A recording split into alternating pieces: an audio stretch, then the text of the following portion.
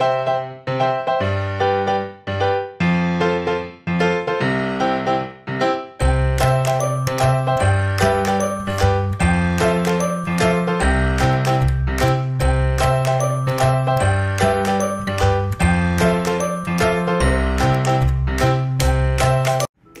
guys! Welcome back sa page Kapampangan Cooking.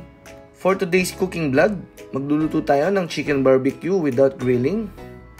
Oo guys, tama ang narinig mo, hindi tayo mag-iihaw. Tara, umpisa na natin. Sa isang pan, maglalagay tayo ng 1 cup na soy sauce, 1 4 cup calamansi juice, garlic, 3 tablespoon brown sugar, 1 half cup banana ketchup, pepper, mas okay pag marami. At saka 3 tablespoon oyster sauce.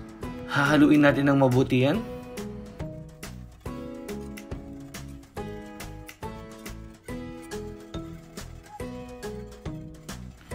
At pag nahalo natin ng mabuti guys, ilalagay na natin yung ating 1 kilo chicken. Kahit anong part guys, no, pwede. Depende sa trip nyo.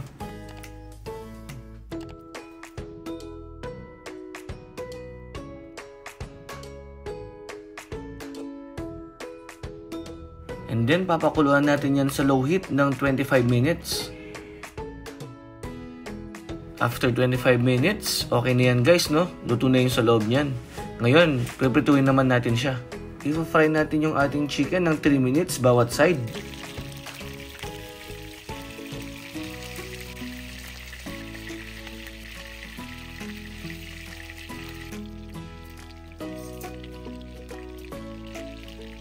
Ayan guys, ganyan ang gusto natin pagkapirito sa ating chicken.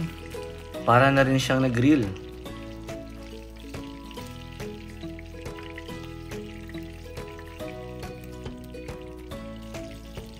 After natin prituhin lahat guys, gagawin naman natin yung ating sauce.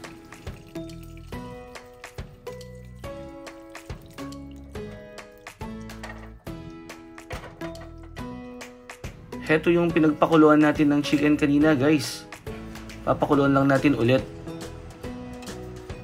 At once na kumulo na guys, maglalagay lang tayo dito ng slurry.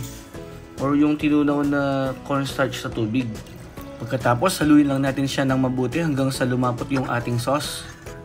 At kung mahilig kayo sa spicy guys, pwede naman maglagay ng sili.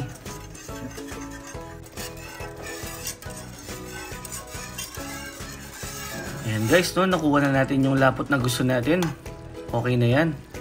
Kung gusto nyo pa na medyo malapot pa dyan, magdagdag lang kayo ng slurry. Ngayon naman guys, magluluto tayo ng java rice. Perfect para sa ating chicken barbecue. Maglalagay lang tayo ng konting mantika sa ating wok. Then mga 60 grams na butter. 3 tablespoon na sweaty powder. 2 tablespoon banana ketchup. And then, i-mix natin mabuti hanggang sa matunaw yung ating sweaty powder.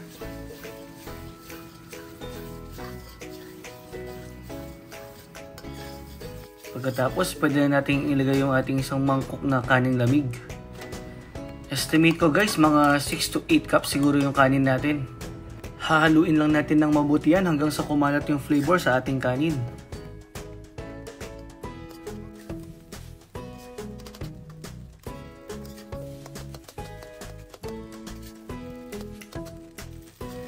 And guys, okay na yung ating java rice. Ready na to, no? Pwede na itong iserve. Kasama ng ating chicken barbecue. Kung nagustuhan nyo ang ating video, guys, please don't forget to subscribe. Thank you!